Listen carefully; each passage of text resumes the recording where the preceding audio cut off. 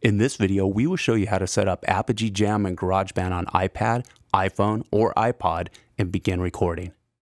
To follow this tutorial, you will need Apogee Jam, iOS 7 or greater, a compatible iPhone, iPad, or iPod Touch, and GarageBand 2 or greater.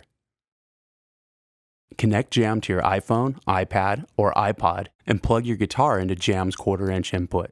Open GarageBand. You should see Jam's LED is now green. Create a new song by pressing the plus button and choosing Create a New Song. Choose Guitar Amp. Click on the Input Settings button and turn Monitor on. Plug in headphones to your iPhone, iPad, or iPod's headphone jack. Adjust your level using the gain knob on Jam. Now just select an amp and you are ready to record. Here's another quick tip. By default, GarageBand for iOS is set for 8 bars of recording. To have a longer recording time, press the tiny plus button on the far right at the top.